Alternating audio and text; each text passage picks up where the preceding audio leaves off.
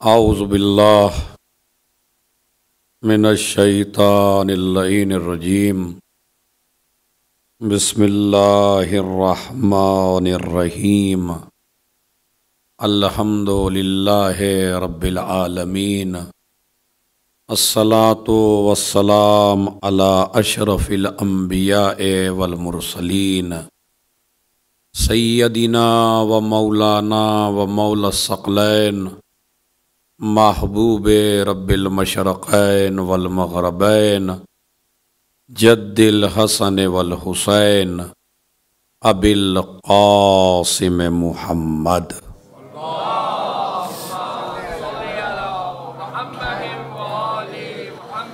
वअला अहल बैत ही तय्यबीन ताहिरीन अलमासूमीन अल्लज़ीना अनहुमुर्रिज्स व तहरहुम ततहीरा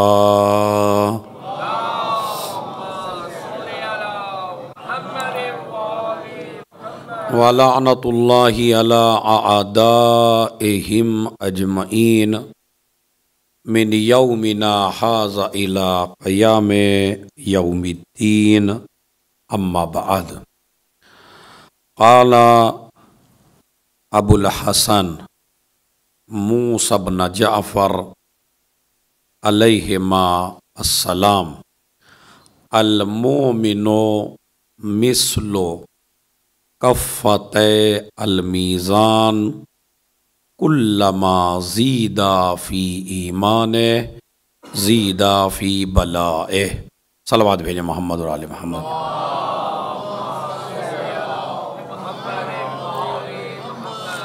जैसा कि आप हजरात को मालूम है कि आज की ये रात बड़ी गमनाक, अलमनाक, मुसीबतनाक और शीयों के लिए एक क़यामत की रात। इसलिए कि हमारे और आपके सातवें इमाम इमाम मूसा काजिम अलैहिस्सलातु वसलाम की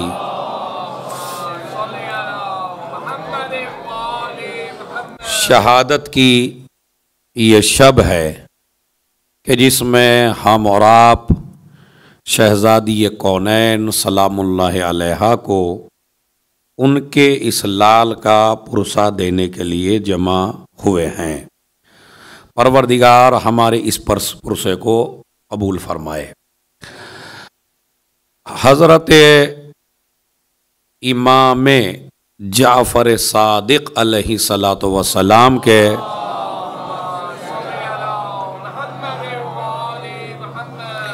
बेटों में से एक बेटे हमारे सातवें इमाम हैं, कि जिनकी वालिदा का नाम हमीदा खातून है।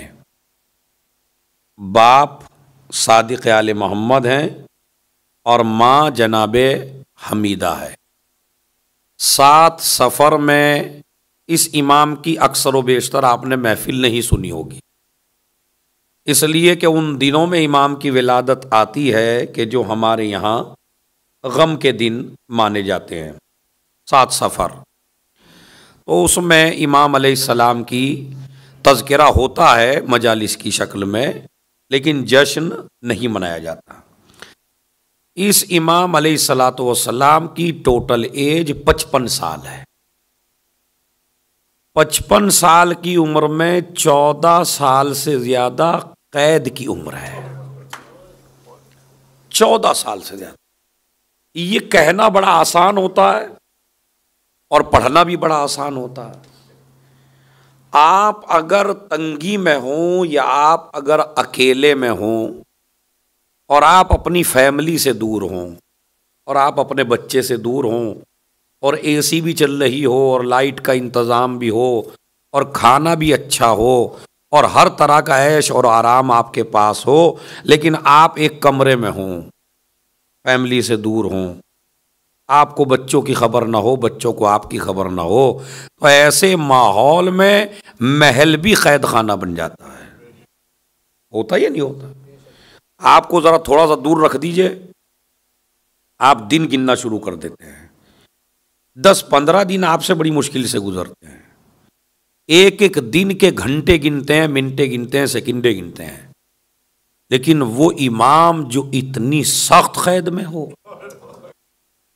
हम्म, और उसके बावजूद भी कारवान हिदायत को आगे बढ़ाता रहे। इसीलिए अल्लाह किसी ऐसे को इमाम नहीं बनाता कि जिसमें से बातें कदम न हो, जिसमें शुजात न हो, जिसमें बहादुरी न हो। नहीं, इमाम सिर्फ़ और सिर्फ़ खुदा से डरता है, कायनात की किसी और शय से नहीं डरता। ये इमामत की अलामत है। इमामत के ऊपर न किसी का रौब पड़ता है। न इमाम किसी से डरता है, न इमाम किसी से मरऊब होता है, न इमाम से ज़्यादा पूरी कायनात में कोई पढ़ा लिखा है, न इमाम से ज़्यादा दिल की बात कोई जान सकता है। इमाम कहते ही उसे हैं। देखिए, लोगों के इमाम नहीं है ये। मैं तवज्जो चाहता हूँ। ये लोगों के इमाम नहीं है। सबसे बड़ी गलती उन लोगों से जो इमाम बन के बैठ गए और इनकी जगह पे बैठ गए, उनसे यही हुई कि उन्होंने ये सोचा कि इमाम यानी लोगों का इमाम। देखिए, जब दुनिया बनाती है किसी को अपना इमाम तो जिन्होंने बनाया है, उनका इमाम है वो। बात समझ रहे लेकिन जिसे अल्लाह इमाम बना के भेजता है, वो जर्रे जर्रे का इमाम होता है। वो कायनात का इमाम होता है। कायनात की कोई शय ऐसी नहीं है कि वो अगर प्रॉब्लम में हो, मुसीबत में हो, परेशानी में हो और इमाम उसकी परेशानी दूर ना कर सके। किसी भी तरह की कोई परेशानी हो। मसन विलादत के वक्त एक परेशानी होती है, हमारी खातन को, सबको होती है। ऐसे ही परेशानियाँ उनको भी होती हैं जो हैवानात होते हैं। एक आया शेर, उस शेर को देख के जितने भी लोग थे पास इमाम के वो सारे भाग गए, मगर वो शेर डायरेक्ट इमाम के पास आया और अपना मुँह इमाम के कान तक ले आया। अब मैंने कहा ना कि अगर इमाम जो होता है वो पूरी कायनात का इमाम है, हर शय का इमाम है, जर्रे जर्रे का इमाम है, जिन का इमाम है, इंसान का इमाम है दरिंदों का इमाम है, हैवानात का इमाम है, हवाओं का इमाम है, फजाओं का इमाम है, सूरज का इमाम है, चाँद का इमाम है, यानी कोई शय ऐसी नहीं है कि वो जिसका इमाम ना हो। जमाने का इमाम है। बात समझ रहा है? जमाने का इमाम है। इसीलिए कहते हैं इमाम जमान। तो जमाने का भी इमाम है। तो लिहाजा ये इमाम जो भी अल्लाह की मखलूक है हर मखलूक का इमाम इमाम होता। लोग भाग के भाग, जाने लगे भागने लगे अरे ये शेर आ गया इमाम नहीं डरे। उसने कान में कुछ कहा चला गया। बाद में फिर लोग आए मौला क्या कह रहा था? ये बताइए ये कह क्या रहा था? कहा असल में इसके यहाँ विलादत होने वाली है तो ये आया था मौला दुआ कर दीजिए। और उसके बाद दोबारा आया तो शुक्रिया अदा करने आया। इसका मतलब यह है, इंसान ना शुक्रा हो सकता है। मगर वो शुक्रिया अदा करके गया। तो दो बातें, अब इस शेर ने क्या कहा, इमाम ये भी समझ गए। और इसको परेशानी क्या है, वो भी दूर कर दी इमाम ने। ये एग्ज़ाम्पल के तौर पे मैंने इस इमाम का आपको, क्योंकि इस इमाम की शहादत है तो इसी इमाम की बात मैंने बताई आपको। तो ये जो इमाम होता है, ये हर चीज़ का इमाम होता है। इमाम की अलामतों में से एक अलामत इमाम की होती है कि दुनिया में जितनी भी लैंग्वेज है, दुनिया में जितनी भी जबानें हैं, दुनिया में जितनी भी जबानें इस्तेमाल की जा रही हैं, उस जबान को जो अहले जबान से अच्छा जानता हो, उसे इमाम कहते हैं। मतलब मेरे यहाँ भाई, पंजाबी भाई भी बैठे हैं। हिंदुस्तानी भी हैं, पाकिस्तानी भी हैं। इलाकों में जबान तब्दील हो जाती है। पता नहीं दुनिया में कितनी जबान है, अंग्रेज़ी है, हिंदी है, पंजाबी है, मराठी है, हैं? सराइकी है, पंजाबी में भी कई कई हैं। लेकिन इमाम उसे कहते हैं जो हर जबान को, यानी दुनिया में जितनी भी जबानें इस्तेमाल हो रही हैं मसन अगर एक अंग्रेज़ आ जाए इस वक्त इमाम ज़माना के पास और वो सवाल करे तो उसे जवाब इमाम ज़माना अरबी में नहीं देंगे। उसे अंग्रेज़ी में देंगे, अंग्रेज़ ये कह के उठेगा, ऐसी अंग्रेज़ी दुनिया में किसी की है ही नहीं है। इसलिए कि उसकी वजह यह है जब मैं ज़रूरत के लिए आया हूँ सबकी तो मेरे अंदर इतनी नॉलेज होनी चाहिए कि मैं सबकी जरूरतों को समझ सकूँ। हमारे अगर इमाम जमाना को भी हमारी तरह तर्जुमे वाला रखना पड़ जाए। तो वह तर्जुमे वाले की ज़रूरत नहीं है। मुजतहीद को तर्जुमे की ज़रूरत है, हमें और आपको तर्जुमे की ज़रूरत है, मगर इमाम को किसी के तर्जुमे की ज़रूरत नहीं है। हिंदी आएगा, हिंदी में बात करेंगे, पंजाबी आएगा, पंजाबी में बात करेंगे। जिस जबान में आप अपने इमाम के पास जाओगे ना, जब वो जमाना आएगा, हमारे इमाम भी हमारे सामने होंगे तो जिस जबान में आप चाहे, आप कैसी भी जबान में बात कर लीजिए, इमाम उसी में करेंगे आपसे। यह आसानी है। इसलिए इमाम अल्लाह उसे ही बनाता है, जैसे बनाता है, उसको नॉलेज इतनी देता है, उसको तालीम इतनी देता है। उसी तालीम के कुछ बातें आप हजरात की खिदमत में तो टोटल उम्र मैंने आपको बताई पचपन साल, चौदह साल कैद में गुजरे हैं, और उसके अलावा माँ का नाम हमीदा है, सत्रह बेटे थे और अट्ठारह बेटियाँ थीं। सत्रह बेटे और अट्ठारह बेटियाँ यह खुद एक मसला है इस इमाम की एजाजी ज़िंदगी का। इस पे भी गौर फरमाए आप। यानी जिस इमाम को कैद में सबसे ज़्यादा इसलिए रखा गया कि इसकी नस्ल ना बढ़े तो अल्लाह ने सबसे ज़्यादा नस्ल भी उसी इमाम को दी। अरे मैं तवज्जो चाहता हूँ भाई, हैं? होना तो यह चाहिए था कि भाई इस इमाम की सबसे कम नस्ल होती। लेकिन चूँकि वो कैद में इसीलिए डाल रहे हैं, नस्ल आगे ना बढ़े इनकी। तो अल्लाह तो जो चीज़ जिस लिए आपने काम किया है, उसी को तो रद्द करता है परवरदिगार। फिर ऑन का इरादा क्या था? मूसा पैदा, भाई यही तो इरादा था। तो अब अल्लाह ने क्या किया? पैदा भी किया और घर में पलवाया। और बच्चे तो अपने घरों में पले, मगर मूसा किसके घर पले? है? इसी तरह ये इमाम कैद में रहे, मैं तो चाहता हूँ, माशाल्लाह, लोग थोड़ा थोड़ा, अगर अभी से थोड़ा सा आगे आ जाए तो जो आएगा, बस वो पीछे बैठता रहेगा। सरबात पड़े मोहम्मद और आले मोहम्मद पर।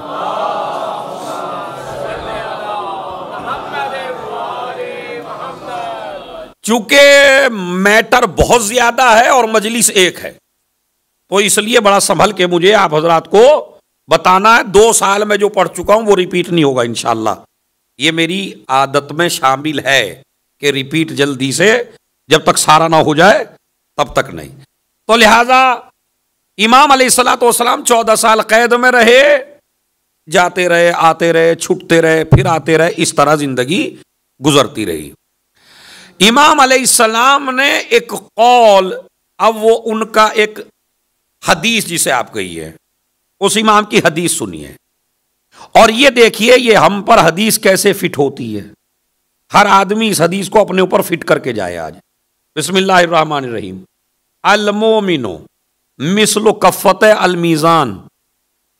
ये जो मोमिन होता है, इसकी मिसाल ऐसे ही है जैसे तराजू के दो पड़े तराजू होता नहीं आता? वैसे आपकी समझ में तराजू बड़ी मुश्किल से आएगा, क्योंकि अब यहाँ का तराजू बिल्कुल अलग है। समझ रहे तो तरमिसलो कफ़त अलमीज़ान, पहले होता था ना मीज़ान तराजू। तो उसके दो पल्ले होते थे। इमाम क्या फरमाते हैं? मोमिन की मिसाल तराजू के पल्ले की तरह है। कुल्लमा जीदा फ़ी ईमान ही जैसे जैसे इस इंसान के ईमान में इजाफा होगा, वैसे वैसे अल्लाह इसकी बलाओं में इजाफा करेगा। अब आदि समझ में आ रही है? मैंने कहा, फिट करने की अपने ऊपर?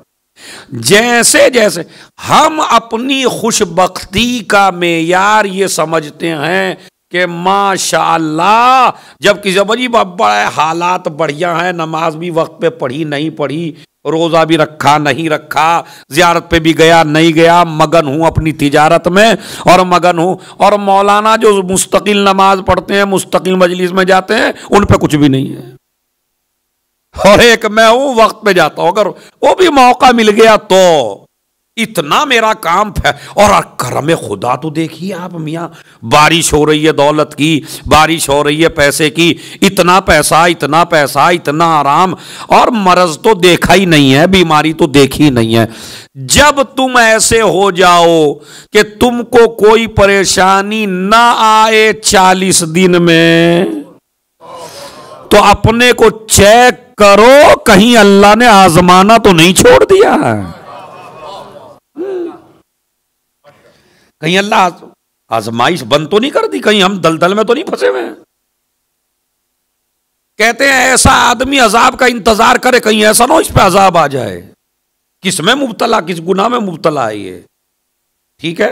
इमाम फरमाता कुल लमाजीदा फ़ी ईमान जैसे जैसे आपका ईमान बढ़ता है, वैसे वैसे आपका इम्तिहान भी बढ़ता है। अल्लाह लेता, कुछ ना कुछ होता ही रहता है। हमने तो यही देखा मोमिनों को अये मौल साहब, हालात ठीक चल रहे थे, कभी उसकी टेंशन, कभी इसकी टेंशन, कभी ये टेंशन, कभी अपनी टेंशन, कभी घर वालों की टेंशन, कभी उस मोमिन की टेंशन। यही है तुम्हारे दराजात में इजाफे का सबब। इमाम कहते हैं, जैसे जैसे तुम्हारे ईमान में इजाफा होगा, वैसे वैसे तुम्हारी बलाओं में इजाफा होगा। और अब जुमला कहना मेरा काम है और जो जो बैठे हैं, उसको सराहना आपका काम है। मगर इन बलाओं से आपको घबराने की ज़रूरत नहीं है। इन मुश्किलों से आपको घबराने की ज़रूरत नहीं है। इसलिए कि वो मोमिन घबराए जिसके पास मुश्किल कुशा ना हो, लेकिन जिसके पास चौदह मुश्किल कुशा हो।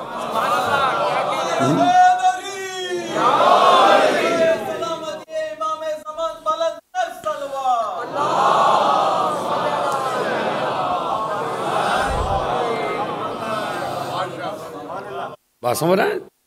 तो इसका मतलब है, बलाएँ तो आएँगी। अब कहेंगे, जनाब, ये कौन सी अच्छी बात है कि बलाएँ दो?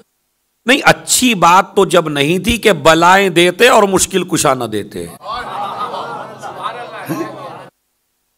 मैं तो कहता हूँ, बलाएँ आनी चाहिए। कम से कम, खुद ईमानदारी से बताइए, आपका राबता मुश्किल कुशा से कम मज़बूत होता है। बताइए मुझे सोच के। जितने भी बैठे हैं आप, हैं? बिल्कुल हालात अच्छे चल रहे हैं, कोई मसला नहीं। नहीं याद आते मौला? इधर थोड़ा सा बुखार हुआ? अरे मौला, मुझे ठीक कर दो, मौला, मुझे सेहत दे दो, मेरी माँ की तबीयत ठीक कर दो, मेरे वालिद को ठीक कर दो, मेरे मुतवजह हुआ नहीं हुआ? कभी कभी जॉब का झटका दे दिया। पूछने आ गया, मौलाना साहब, कोई अमल बता दीजिए। इसका मतलब है परेशानियों में राबता मज़बूत आता है। इसीलिए किसी शायर के शेर का मफहूम है। समझ रहे? वो कहता है कि जब मुझे गिर गिर के गिरने में ज़्यादा मज़ा आने लगा मतलब मफहूम है उसका ये, कि जब मुझको गिरने में ज़्यादा मज़ा आने लगा तो मैं अपनी तरफ़ से और ज़्यादा गिरने लगा ताकि जब गिरूं तो या अली कह सकूँ। तो अब इसका मतलब यह है कि ये जहाँ यह है कि बलाएँ आती हैं तो बलाएँ टाल टलती भी हैं। हम तुमको बलाओं के दलदल में छोड़ने वाले नहीं हैं। हमारे इमाम है। इसीलिए इनके रोज़े कोई सुन्नी, कोई शिया, कोई भी जाए। मैं हर साल एक वाक्य पढ़ता हूँ, यहाँ भी दो साल पढ़ चुका हूँ, अब भी पढ़ूँगा। पहले तफसील से पढ़ चुका हूँ, अब खाली इशारा देना। कि यही तो कमाल है इन लो, इनका, आले मोहम्मद का। कि मसलन अगर आज भी किसी का बच्चा कोई कैद में हो, कोई परेशानी में हो तो जिस इमाम का सबसे ज़्यादा वास्ता काम आता है, वो हमारा ये सातवा है। किसी भी आप प्रॉब्लम में हो, मुसीबत में हो तो सातवें इमाम का वास्ता दीजिए। लोग कहेंगे, जनाब जो खुद कैद में हो, यही तो हुआ कि जब तारीख बगदादी में हर साल पढ़ता हूँ, कह रहा हूँ, मगर इस साल आधा मिनट पढ़ूँगा कुल। उस औरत का बेटा कैद में डाल दिया गया, कैद में डाल दिया गया, परेशान हुई। वो इमाम के रोज़े पे आई सातवें के, और इमाम से कहा, मौला, मेरे बच्चे को आज़ाद करो। सामने वाला एक आदमी था, उसने कहा, खबरदार, ये बेचारा क्या करेगा? ये तो खुद कैद में मर गया है। फिर गई इमाम के रोज़े पर। मुझे इस बात का सदमा नहीं है कि मेरे बेटे के बारे में उसने कुछ कहा। मुझे इसका सदमा है, तुम्हारी ताकत को चैलेंज किया। थोड़ी देर हुई थी, बेटा आ गया सामने। बेटा सही है, ये मैंने तफसील से पढ़ दिया था तो मैंने इशारा दे दिया खाली। तो इमाम सलाम कहते हैं कुल लमा दफी ईमान दफी बला है।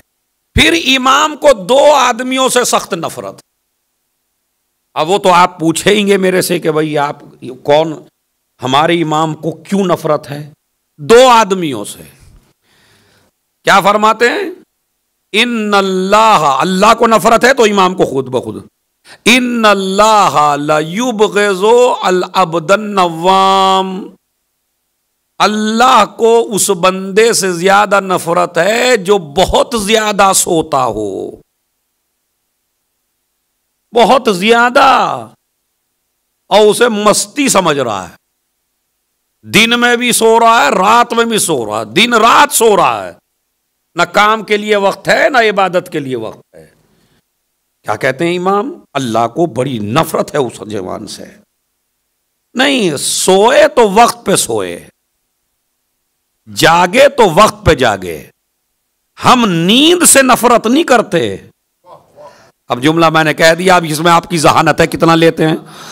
हम नींद से नफरत नहीं करते। अगर हम नींद से नफरत करते तो एक सोने में अली को मर्ज़ी का मालिक न बना। लेकिन ये जो बंदा कुछ करता ही ना। दूसरा इन अल्लाहब कह दो अल अब्दल फारिग। ये वो मेरे जवान सुने जो इंडिया में हैं और पाकिस्तान में हैं। ये उनके लिए मैसेज है। अल्लाह उन बंदों से नफरत करता है जो फारिग फिरे कोई काम नहीं। गलियाँ आबाद हैं जिनसे।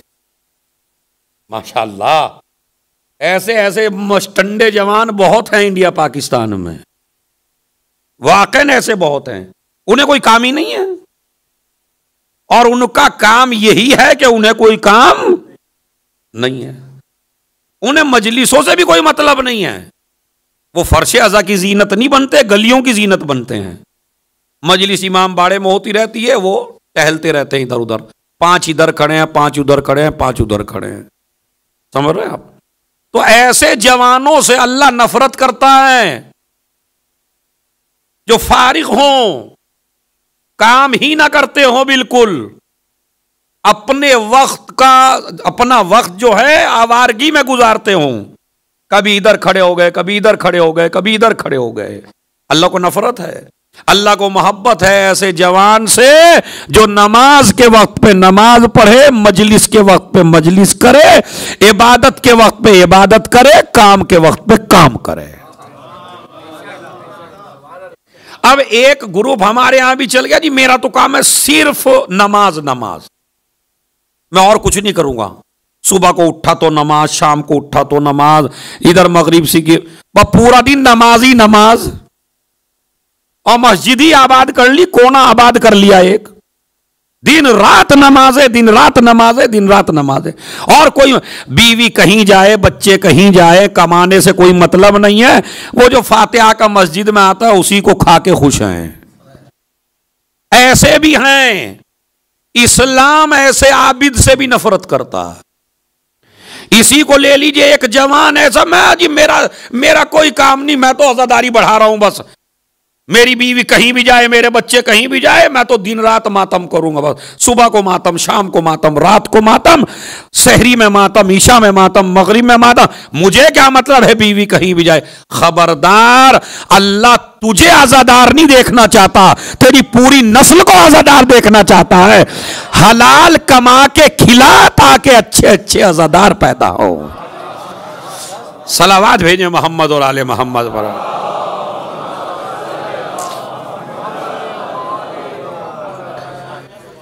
अब अगर मैं कहूँ, हो सकता है मेरी क्लिप बना दे कोई इसी की, कि मातमियों को यूँ कह दिया।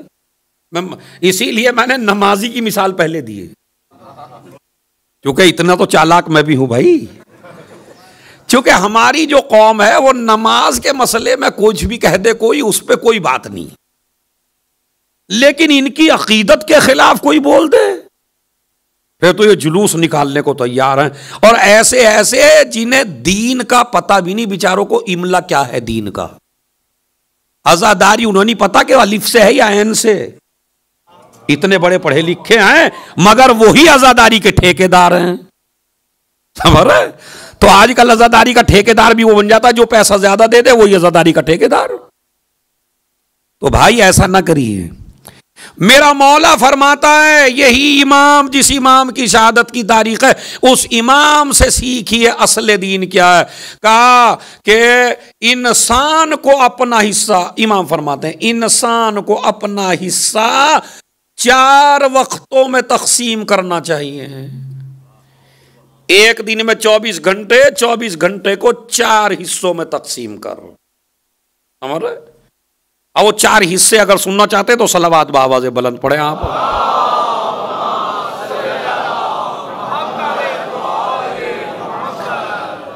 यकून सात कुम या जमान कुम अरबा सात तुम्हारा टाइम टेबल जो है वो चार हिस्सों में होना चाहिए।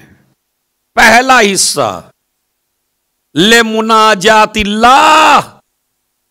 एक वक्त दो अपने परवरदिगार को जिसमें आप अल्लाह से राजो नियाज कर सको। ये एक वक्त अब आप 24 घंटे में से आप लगा लीजिए सुबह की नमाज़ में कितनी देर लगती है भाई आपको? दो मिनट।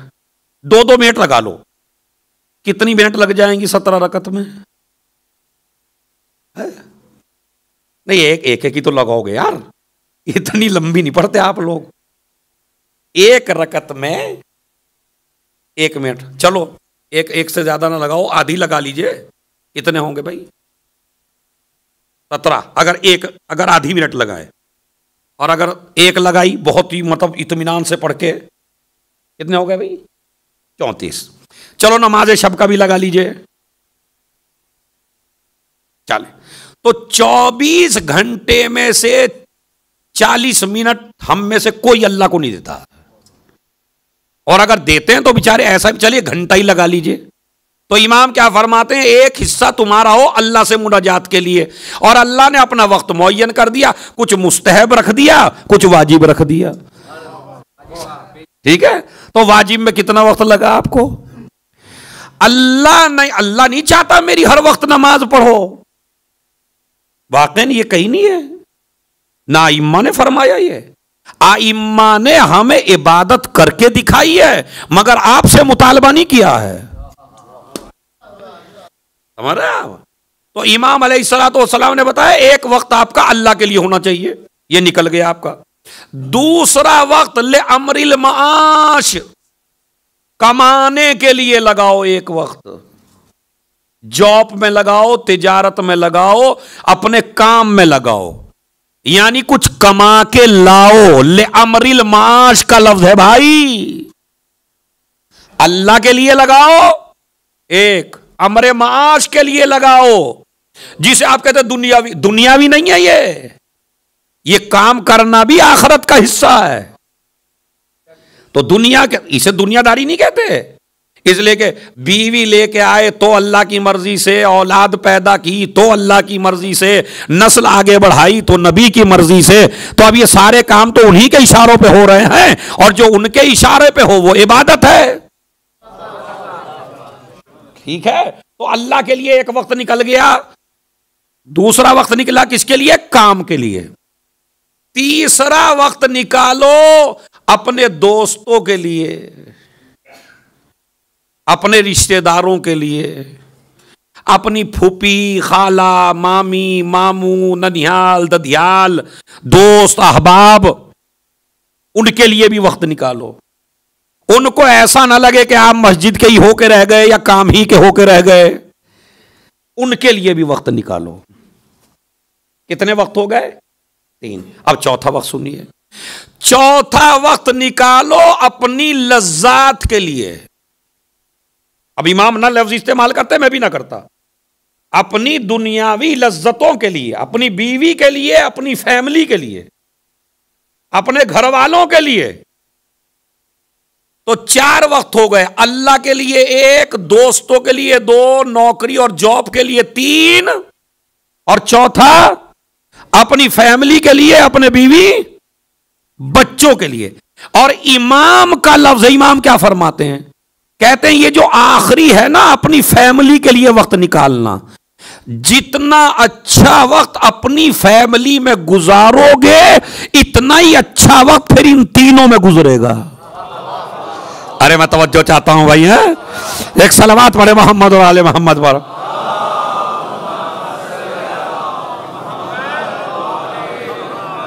यानी जिसने अपनी बीवी के साथ अच्छी ज़िंदगी गुजारी उसका वक्त जॉब पे भी अच्छा गुजरेगा, रिश्तेदारों में भी अच्छा गुजरेगा, इबादत में भी अच्छा गुजरेगा। इसीलिए कहा गया कि ये जो इबाद बीवी होती है, ये इबादत में मददगार है। कुवारे की नमाज़ दो रकत की सवाब दो ही रकत का है। लेकिन अगर शादी कर ले तो सत्तर रकत के बराबर हो जाता है। यकीन ना आए तो मैं आपको बताऊँ, अली ने तलवार तो चलाई थी जंगे बद्र में भी और तलवार चलाई थी जंगे ओहद में भी, लेकिन उस तलवार के लिए नबी ने नहीं कहा, अली की एक जरबत सकलैन की इबादत पे भारी है, मगर इधर जहरा से शादी हुई, इधर इबादत का वज़न बढ़ा।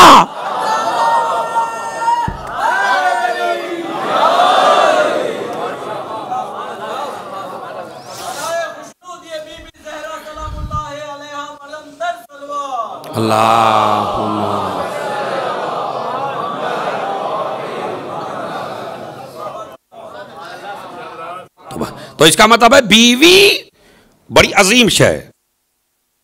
अब चूँकि हर जाकिर जो है वो गिसीज में हम अशरा पढ़ रहे थे तो उसमें माँ माँ माँ माँ का बयान काफ़ी आया। एक खातून ने हमें पर्ची लिख के दी वहीं कि जनाब, क्या इस्लाम में हमारा भी कुछ है? ये आप हमेशा हमारे शोहरों को जो लगे पड़े आठ दिन से, ये तो पहले से ही ऐसे थे। आपकी मछली से मैं आगे तो ये और हो गए। तो अब मैं, अब मेरी माँ बहनें भी बैठी होंगी, वो सुन रही हैं इस मसले को। तो मैंने ये कहा कि भाई, मैंने कहा, ये मौजू मैं ज़रूर पढ़ूँगा, लेकिन ग्यारह मुहर्रम को पढ़ूँगा। क्योंकि मुझे मालूम है अशरे के बाद जो ग्यारह मुहर्रम आती है, उसके बाद माशाल्लाह इमाम बाड़े खुद ब खुद खाली से हो जाते हैं, आता नहीं है। अब मैंने जो ग्यारह को देखा तो पूरा किसी का इमाम बाड़ा फुल था बिल्कुल भाई, जैसे नौ मुहर्रम में हो। अब मैंने एक से कहा, भाई, क्या बात है? कहा, आज आए नहीं हैं, लाए गए हैं, बाकायदा। और औरत पकड़ के लेके आई है। एक सलवार भेजे मोहम्मद वाले मोहम्मद पर।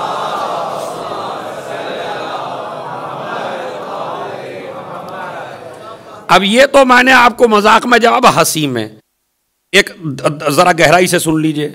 ये जो हमारी कुछ बहनें, मेरी बहनें जो नीचे बैठी हैं, जहाँ जहाँ मुझे सुन रही हैं, समझ रहे मेरी बीवी भी सुन रही है, भाई, मैं तो खुद ही संभल के बोलूँगा, देखो। हाँ कभी ये ना समझिएगा आप, डर सबको है।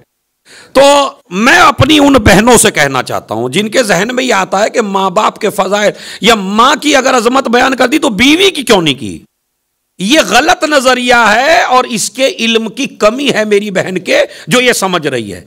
यह मजलिस तेरे हक में भी हो रही है, अगर तुम मुस्तकबिल में सोचे तो।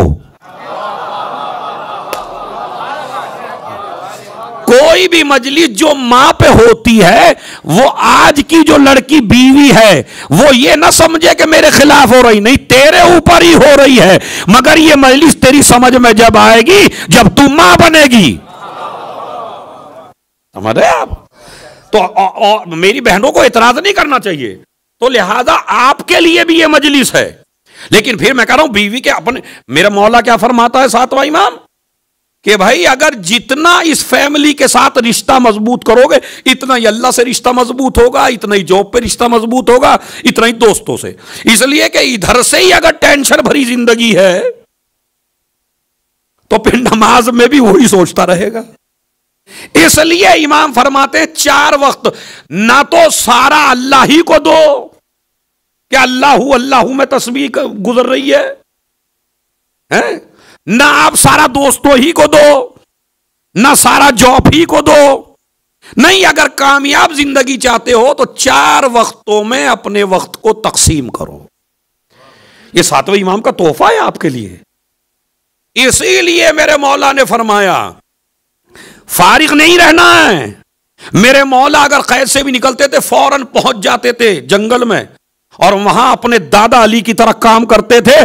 और जब किसी ने कहा कि आप काम क्यों कर रहे हैं, कहा, मैं चाहता हूँ कि अपने बच्चों को खिलाऊं इस तरह, जिस तरह मेरे आबाओ अजदाद मेहनत करके खिलाते थे। हमारे अक्सर इमामों ने खेतियाँ की हैं। हमारे अक्सर इमाम खेतियों में गए, काम किए हैं, फावड़े चलाए हैं, ज़मीन खोदी है, कुएँ खोदे हैं, सबसे ज़्यादा अमीरुल मोमिनीन ने कुएँ खोदे हैं। जंगल में जाते थे, कुआँ खोदते थे, जंगल में जाते थे, कुआँ खोदते थे और उसके बाद गुलाम खरीदते थे, गुलामों को आज़ाद करते थे। अब आप कहेंगे, अली ने इतना पैसा, अली ने अगर पैसा भी, मेरा मौला गरीब नहीं था, उसका तो लकबी अमीर है।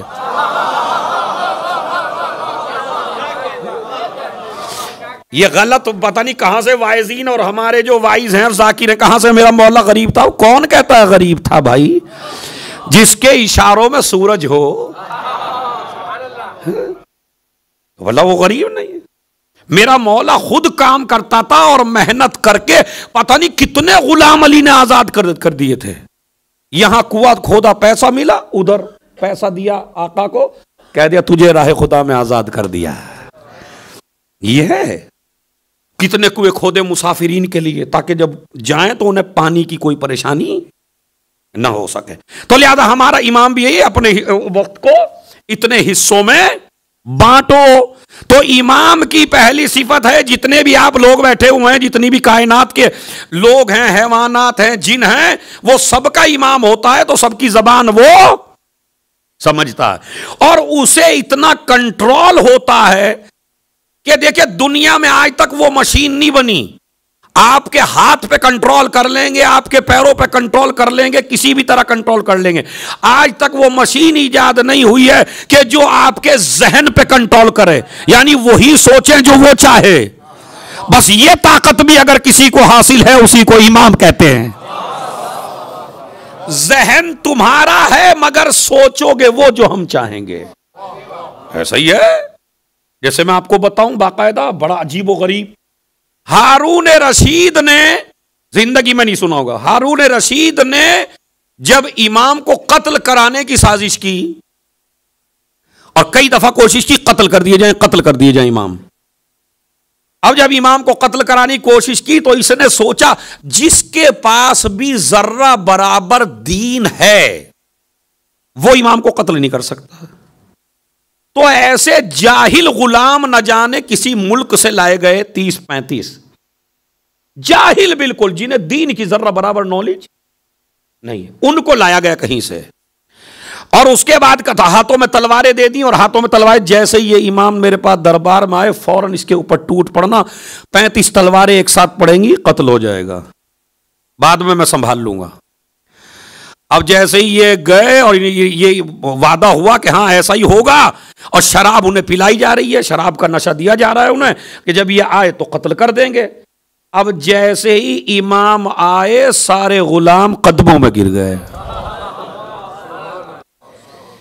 सारे गुलाम सुनिए अभी सारे गुलाम कदमों में गिर गए। आज सारे इमाम कदमों में गिरे तो उसने एक दफ़ा किया दो दफ़ा किया तीन दफ़ा किया। उन लोगों ने कहा, भाई, हमारी मजबूरी यह है अच्छा अभी तक वो पहचाने भी नहीं इमाम को। हमारी मजबूरी है कि जब ये आता है तो हमारे दिल कांपने लगते हैं। कहाँ से इतनी ताकत है। अच्छा ठीक है। हारून रशीद ने कहा, मैं एक दूसरा तरीका अपनाता हूँ। दूसरा तरीका क्या है? कहा, दूसरा तरीका ये अपनाता हूँ कि इनको कई दिन तक बहुत ज़्यादा शराब पिलाई जाए। और एक लकड़ी का मुजस्मा तैयार किया जाए इमाम की शक्ल का। और शराब के नशे में कई दिन इनको ट्रेनिंग दी जाए कि ये इस मुजस्मे के ऊपर हमला करें। तो रोज एक मुजस्मा लाया जाता है, इमाम की शक्ल का बनाया जाता है, इनको शराब में दूध किया जाता है, बिल्कुल शराब बहुत ज़्यादा पिलाई जाती है, हाथ में तलवार दी जाती है और उसके बाद कहा जाता है, अब हमला कर दो। वो हमला कर देते हैं, उसके टुकड़े कर देते हैं, फिर उसे जोड़ के, फिर उसे पेश कर दिया जाता कई दिनों। अब ये मुतमिन हो गया। और इसने सोचा कि अब तो ये मूसी काजिम कत्ल हो जाएँगे और मेरे ऊपर बात भी नहीं आएगी, मैं कह दूँगा, शराब के नशे में गुलामों ने कत्ल कर दिया। सुनिए भाई, सुनिए। अल्लामा मजलिसी ने लिखा इस वाक्य को कि कत्ल कर दिए जाएँगे। जब काफ़ी ट्रेनिंग दे दी तो इमाम को फिर बुलाया दरबार में। बल्कि आप दरबार को छोड़ दिया जंगल में, कहीं इनकी अहमियत और एक जगह ले गए, ले जाके इनको छोड़ा। उसके बाद इमाम को इनके सामने पेश किया। शराब के नशे में ये चूर तलवार लेके चले। इमाम ने एक एक की जबान में बोलना शुरू किया। अब जो जो जहाँ का था, उसने कई आफी अरसे के बाद अपनी जबान सुनी। फ़ौरन इमाम के कदमों में गिर पड़े। फिर हारून ने कहा, अरे, अब क्या हो गया था? कहा, तुम अगर कत्ल कराना चाहते थे तो किसी और को कराते। ये तो वो है जो हर साल हमारी मुसीबतों को हल करता है। तू ये समझता है कि ये तेरी कैद में है। हमारे लड़ाई होती है तो सुलह ये कराता है। कहत आता है तो रोजी ये देता है। तो कत्ल नहीं हो पाए इमाम सलाम तो लिहाजा इसने ऐसा भी किया, हारून रशीद ने। उसके बाद हारून ने बहाने तलाश करने शुरू किए। और सबसे पहले मैं आपको एक ऐलान करना चाहता हूँ, माशाल्लाह आप काफ़ी लोग हैं।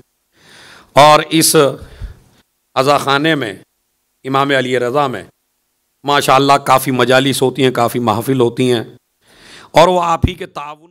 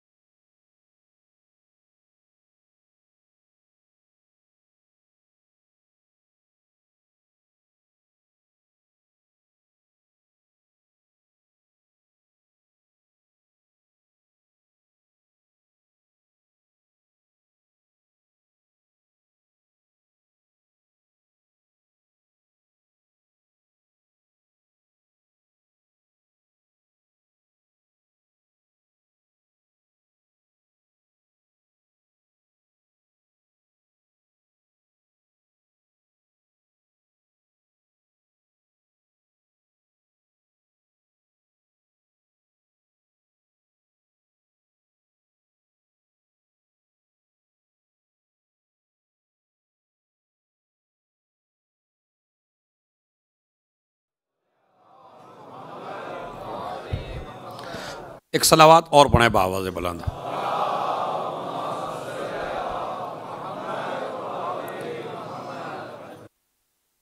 तो इस इमाम सलात वसलाम के जो दो लकब हैं, बाबुल हवाइज एक, अबद सालेह दो, यही जनाब अब्बास के भी हैं। बाबुल हवाइज और अबद सालेह। काजमैन में आपकी कब्र है, रोज़ा है, हर एक की परेशानी दूर होती है। आज मैं आपको खुद इमाम से, जैसे आप एक आलिम दीन से पूछते हैं, किसी पढ़े लिखे से पूछते हैं कि भाई मौलाना साहब, जो भी काम करता हूँ, वही ख़राब हो जाता है, जिस काम में हाथ डालता हूँ, वही बिगड़ जाता है। मेरा काम बराबर नहीं चल रहा। ऐसे काफ़ी लोग होते हैं। तो मैं अभी अल्लामा मजलिसी की किताब देख रहा था तो उसमें मैंने पढ़ा कि अबुल कमकाम एक शख्स था। इसको सेव कर लीजिए। अबुल कमकाम एक शख्स था। अबुल कमकाम कहता है, मैं जो भी काम करता था, उसी में मुझको प्रॉब्लम। जो भी काम करता था, रिज्क में बरकत नहीं होती थी। परेशानी परेशानी होती थी। जो करना चाहता हूँ, वो ही नहीं हो पाता। होता नहीं होता। ऐसे बहुत से लोग हैं जिनको इस तरह की कोई परेशानी है। तो बजाय इसके कि आप किसी जंतर मंतर के चक्कर में आए हैं तो जिनके पास चौदह मुश्किल कुशा हो, तावीज गंडों से बेहतर है कि आप जो हैं, वो आइए। तो इमाम सलाम ने कहा, मैं तुझे एक दुआ बताता हूँ। अब कितनी अजीम दुआ होगी जो सातवां इमाम बता रहा है। सातवें इमाम ने एक दुआ बताई रिज की तंगी के लिए, कारोबार की तरक्की के लिए, इकतसाद की मजबूती के लिए, काम होते होते बिगड़ जाता है। उसके लिए एक दुआ बताई है। और वो दुआ सुन लीजिए। बिस्मिल्लाहमान रहीम इमाम ने फरमाया, बस ऐसा करो। अच्छा जब भी इमाम से कोई दुआ पूछी गई ना, वो हमारी तरह नहीं बताई इमाम ने। क्योंकि हम तो ऐसी दुआ बताते हैं जिसमें तुम्हारा घंटा, दो घंटा लगे। इमाम कभी इतनी लंबी चौड़ी दुआ नहीं बताते थे, बल्कि इमाम तो ये कहते थे, जो लंबी का सुन, सुनने वाला है, वही छोटी दुआ को भी सुनता है। समझ रहे ये कहते थे। तो इमाम ने कहा, दस मरतबा नमाज़ फजर के बाद। इधर नमाज़ फजर पढ़ी, नमाज़ फजर के बाद दस तस्बी हजारा तस्बी हजारा सलाम के बाद दस मरतबा ये दुआ पढ़े। सुबहान अजीम व बेहमदे। जरा दोहराइए।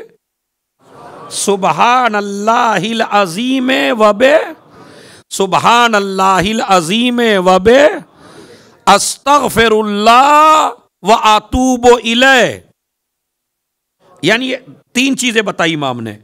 क्या सुबहान अल्लाह अजीम व बेहमदे एक? अस्तगफिरुल्लाह व आतूब इले दो, व असअलहु अन फजले। व असअलहु यानी तीन जुमले हैं सुबहान अल्लाह अजीम व बेहमद एक, अस्तगफिरुल्लाह व अतूब दो, असअलहु फजले, ये जो तीसरा जुमला है, इसी पे तवज्जो चाहता हूँ अन फजले, मैं तुझसे सवाल कर रहा हूँ तेरे फजल का। इमाम ने अदल का लफ्ज नहीं कहा, अदल का मतलब होता है बंदे को इतना देना जिसका मुस्तहक हो। फजल में परवरदिगार, तुझे मुझे नहीं देखना, अपनी अता को देखना है। इलाही आमिल ना बे फजलिक, वला तो आमिल ना बे अदलिक। पालने वाले महशर में मेरे साथ अपनी अदालत से काम ना लेना। अपने फजल से काम लेना। तो ये हमारे इमाम अली सलाम की ज़िंदगी चौदह साल कैद में, और ये मैंने बताया औकात को ऐसे तकसीम करो ये, और उसके बाद फजीलत की एक झलक सुना दूँ आपको मैं। वो फजीलत की सुन लीजिए, बस आप क्या है।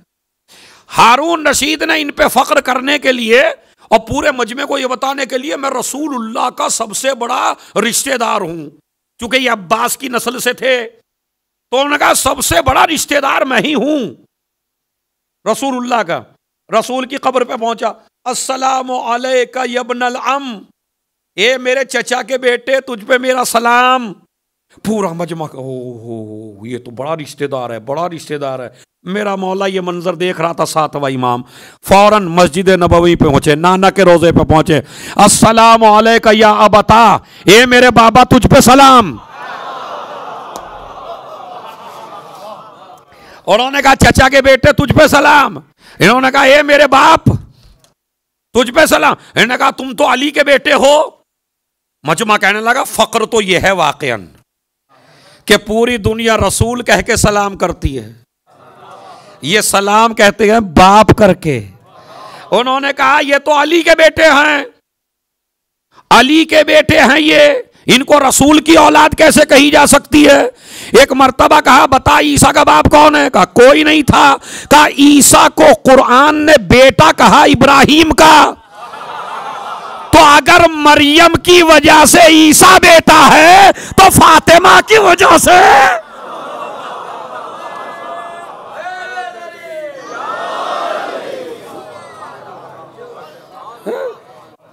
तो मरियम का अगर बेटा ईसा, उनका इब्राहिम का हो सकता है। तो हम, उसके बाद का दलील दो अच्छा। भाई, दलील सुनिए। देखिए, अगर मैं पढ़ रहा हूँ तो मुझे दाद दीजिए। और अगर इमाम की बात हो तो इमाम को दाद दीजिए, उस पर सवाब होगा। और देखता हूँ अपने इमाम को कितनी दाद देते हो। इमाम ने बता क्या कहा? इमाम ने कहा, दलील तू तुझे? कहा, दलील। कहा, एक मसला तू ही बता दे। अब पूरा मजमा खड़ा है। कहा, बताओ मसला क्या है? कहा, मसला यह है कि लो बास रसूल हयन अगर रसूलुल्लाह अब ज़िंदा हो के आ जाए, यानी रसूलुल्लाह अब ज़मीन पे दोबारा फिर आ जाएँ अब वह ख़तबा करीमा तक, और तुझसे तेरी बेटी का रिश्ता मांगे। तो बता तू अपनी बेटी दे देगा रसूल से। कहने का, कैसी बातें कर रहे हो? अरे, एकदम से दूँगा भाई। खुश हो के दूँगा। ये तो मेरा नसीब है कि वो मुझसे मांगे। अब इससे ज़्यादा मैं भी नहीं खुल सकता भाई। हम तो इंतज़ार में ही रहते हैं। कि किसी तरह हमारी बेटियाँ जाएँ तो उन्होंने कहा, देख, ये तेरा मकाम है कि तुझसे वो मुतालबा कर सकते हैं। ये मेरा मकाम है कि ना हम बेटी दे सकते हैं, ना वो रिश्ता ले सकते हैं। उन्होंने कहा, वजह क्या है? कहा, वजह यह है कि हमारा बाप है, तेरा बाप।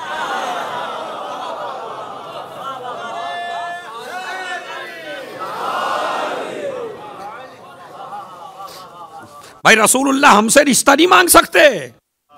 चूँकि हम तो औलाद हैं, औलाद में रिश्ते नहीं होते। अब बाज लोगों के ये मंतिक समझ में नहीं तो इमाम ने और हल्का किया। अब हल्का सुनिए क्या है। का अच्छा एक बात बता।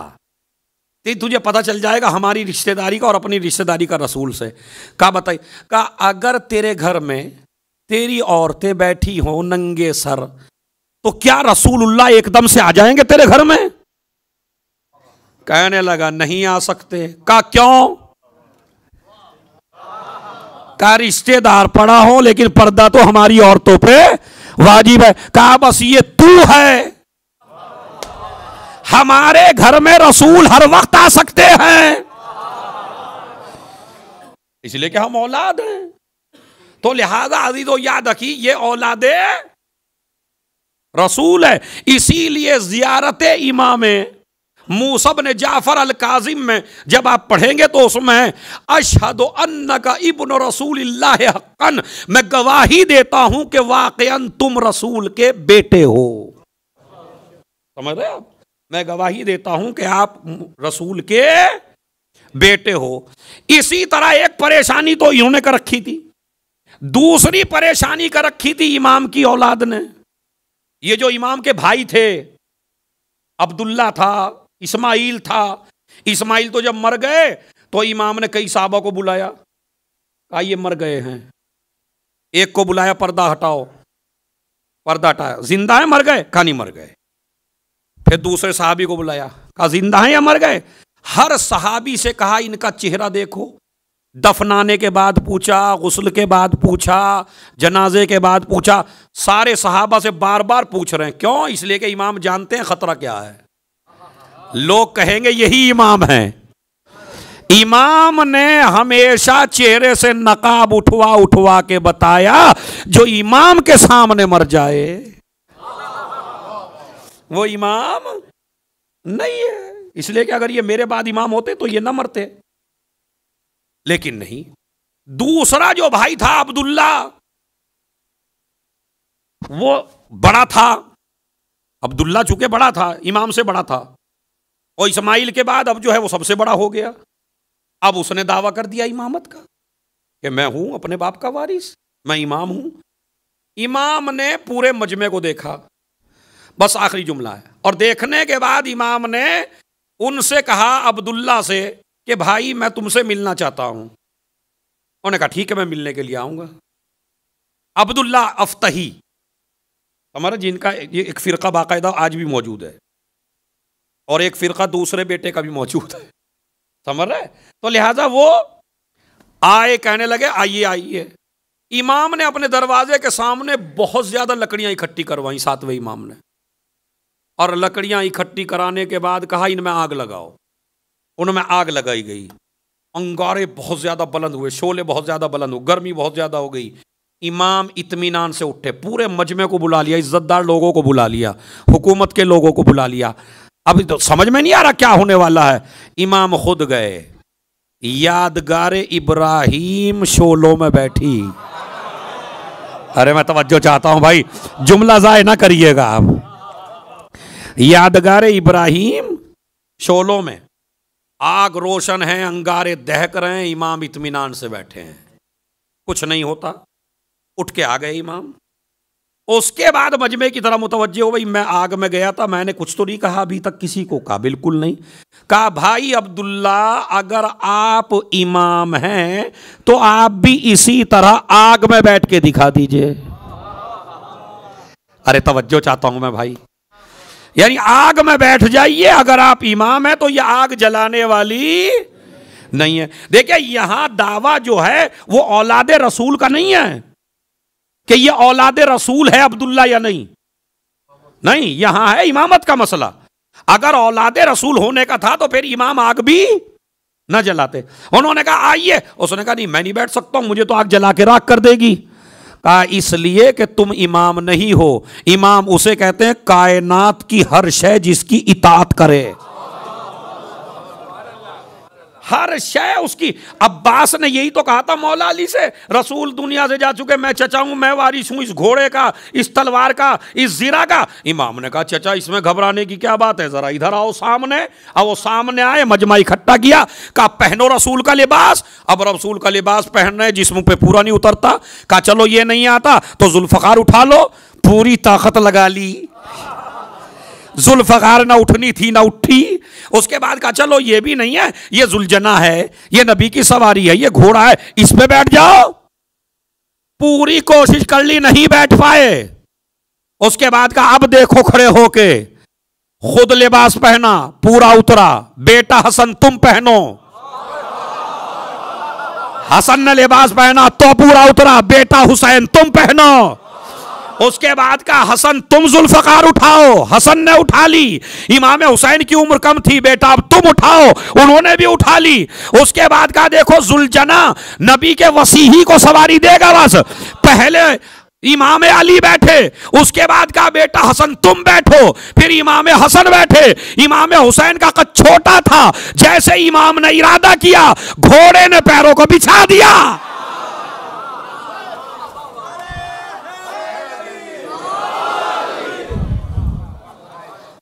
क्यों?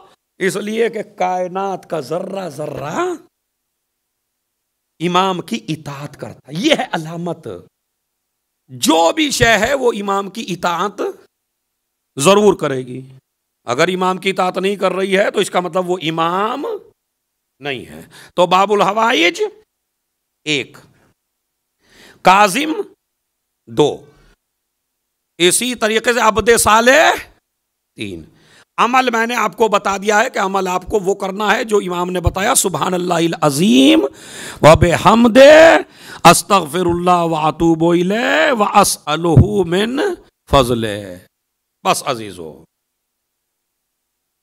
ये इमाम बड़ा मजलूम इमाम है। बड़ी मुसीबत में ज़िंदगी गुजरी है इसकी। आज मैं आपको रोने को नहीं कहूँगा। इसलिए कि आप तो खुद ही मुतवजह हैं। आज जहरा सर पीटती हुई आ रही है। इतनी बेदर्दी से, इतनी बेदर्दी से। अल्लाह मुझे भी ताकत दे, आपको भी ताकत दे सुनने इतनी बेदर्दी से मारा गया इस इमाम को, बताऊँ मैं आपसे? बस पहले कैद खाने की कैफियत सुन लीजिए। पूरी ज़िंदगी इमाम की ऐसी जैसी रुकू में आदमी होता है, ऐसे गुजरी है। बड़ा सख्त लफ्ज है, अगर आप समझ जाएँ तो। लेकिन कैद खाना इतना छोटा है कि इमाम सर उठा भी नहीं सकते हैं। और इतनी चौड़ाई है, इमाम पैर फैला भी नहीं सकते हैं। अब मेरी तरफ़ देखिए, रोना आपका काम है। इमाम ऐसे रहते थे कैद खाने में। और जो चौड़ाई है, उधर दीवार से भी टेक नहीं लगा सकते। दीवारों में इतनी लंबे लंबे, उसे कह ली, कीले कह लीजिए, सरिये कह लीजिए, लोहा कह लीजिए, सलाखे कह लीजिए कि चारों तरफ़ उसके सलाखे लगी हुई हैं। इमाम हल्का सा इधर होते हैं तो इधर की सलाख चुभती है। कहते हैं, इमाम के गोश्त के टुकड़े इन सलाखों के ऊपर।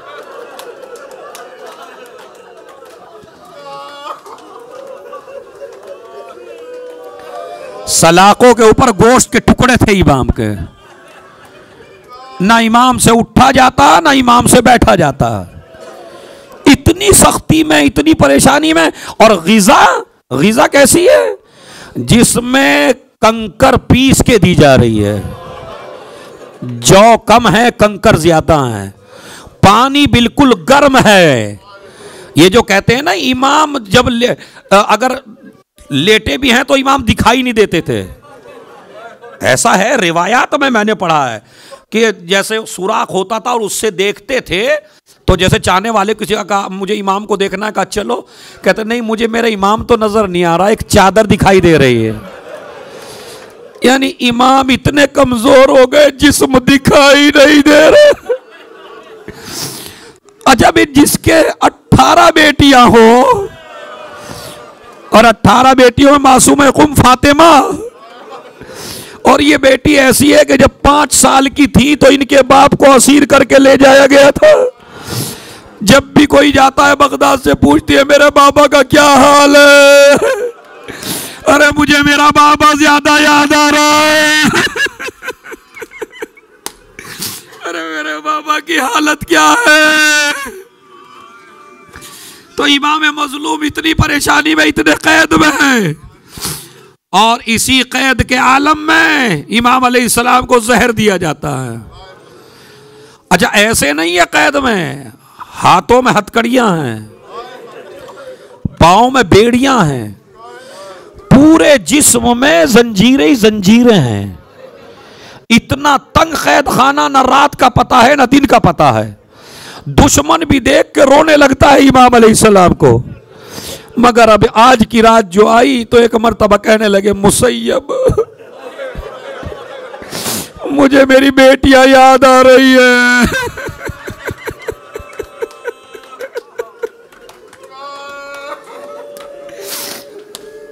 ए मुसैयब, मेरी बेटियाँ याद रही है। मौला आपको रिहा कैसे करें? कहा, नहीं, उसको बारे में तुम ना सोचो। बस हम चंद मिनट में गए और आए। जंजीरें खुद ब खुद खुली। इमाम निकले, क्या देखा? सारी बच्चियाँ सो रही है। एक एक बच्ची का चेहरा वहाँ से देखना शुरू किया।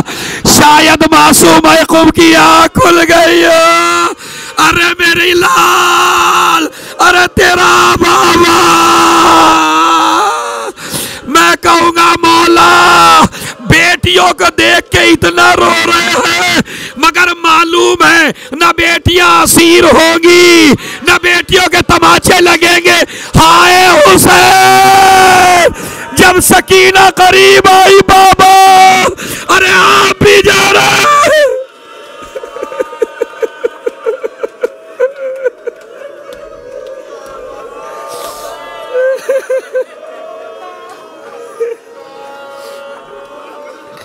ये यतीमी बड़ी बुरी चीज़ है दो वो अट्ठारह यतीम हो रही है, मगर मालूम है, न रसन बधेगी, न दयार बदयार फिर आई जाएँगी। और इधर सकीना की कितनी फ़िक्र है हुसैन को? रात का वक्त है। मैं एक लफ्ज रिवायत पढ़ना चाहता हूँ। रात का वक्त है। नौ मुहर्रम है, नौ मुहर्रम। शब आशूर है और शब आशूर में सारे इबादत कर रहे हैं और रात के सन्नाटे में अब्बास दिलावर पहरा दे रहे हैं। अब्बास दिलावर ने क्या देखा कि अंधेरे में एक शख्स निकला खेमे से और खेमे के सामने खड़े होके उसने कुछ उखाड़ के कुछ फेंकना शुरू किया। इधर से उखाड़ा उधर फेंका, उधर से उखाड़ा उधर फेंका। अब्बास ने कहा, कौन? एक मरतबा हुसैन ने कहा, तेरा आका हुसैन। आका गुलाम के होते हुए ये क्या कर रहे हैं? मुझे नहीं पता किसमें हिम्मत है। का आप क्या कर रहे हैं, आका? का अब्बास, अरे खेमों के सामने कुछ कांटोदार दरख्त है। मैंने उनको उखाड़ के फेंक दिया, ताकि जब शाम गरीबा मेरी सकीना कांटा न चुभ जाए।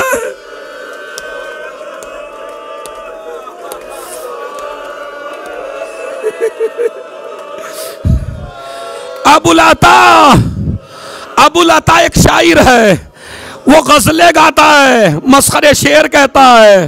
हारून रशीद ने उसे अपने दरबार में बुलाया। दरबार में बुलाने के बाद उससे कहा, शेर पढ़ो, महफिल बड़ी जम गई बड़े बड़े शेर सुनाए। एक मरतबा उसने कहा, तुझे आज मुमाई का इनाम दूँगा, अगर वो गज़ल सुना दे। कहा, ठीक है, मैं तुझे सारी गजलें सुनाता हूँ। खुश हो गया हारून रशीद। कहा, बता तुझे क्या चाहिए? इधर मेरे इमाम को जहर दिया जा चुका है। उधर उससे कहता है, शायर से, मगर उससे पहले मख्तल सब्जवारी से। अल्लामा हुसैन अली ने एक वाक़ मैंने सुना उनसे। वो वाक़ ये है कि इमाम खाली उस जहर पर इकतफा नहीं की उन्होंने। सीओ को पता चल गया, इमाम को जहर दिया। लोग आने लगे। वो सनदी इबन शाही काया इमाम के सामने कलम दावत फेंका, लिख के दो कि हमने तुम्हें जहर नहीं दिया है। इमाम ने कहा, मैं लिख के नहीं दूँगा। कहा, मैं तुझे सजा दूँगा। कहा, कैसी सजा?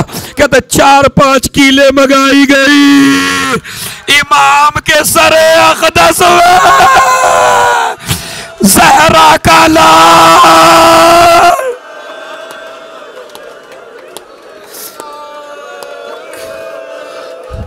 इधर ये फारिग हुआ। फारिग होके इसने कहा, मुझे इनाम चाहिए। मुँह मांगा, कहा, क्या है? कहा, बस एक ही इनाम है, और कुछ नहीं चाहता। मैंने पूरी ज़िंदगी खिदमत की तेरी हारो नचीर एक इनाम चाहता हूँ। मेरे इमाम को आज़ाद कर दे। उसके बच्चे बड़े तड़पते मेरे इमाम को आज़ाद कर दे। कहा, जा, कल तेरा इमाम आज़ाद हो जाएगा। अपने घर पहुँचा, गुस्ल किया, नहाया, धोया। अपनी बीवी से कहा, आज मेरा इमाम आज़ाद हो जाएगा। हारून रशीद ने लिख के दे दिया, मेरा इमाम आज़ाद हो जाएगा। एक मरतबा सुबह को उठा, कह रहा है, मेरे इमाम को निकाल दो। शाम हो गई, परेशान है। दिखा रहा है मुझे, लिख के दिया है हारून रशीद ने। मेरे इमाम को निकालो, मगर इसने क्या देखा? एक तख्ते के ऊपर चार गुलाम, एक जनाजा।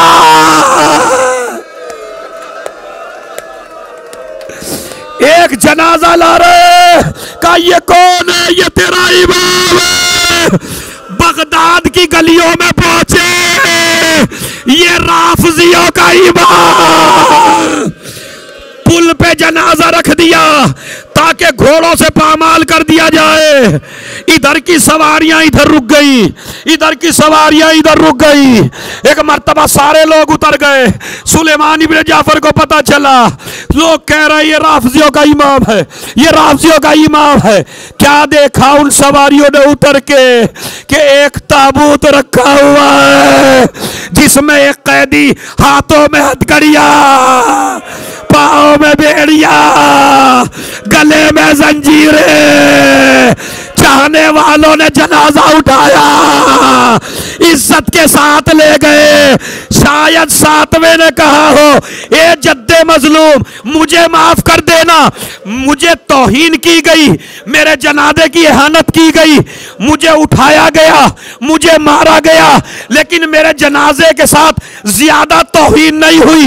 ए जद्दे मजलूम, तेरा जनाजा घोड़ों की टापे जैनब देख रही है। ए मेरे भाई ये नाना ये मेरा हुसैन घोड़ों की टापे।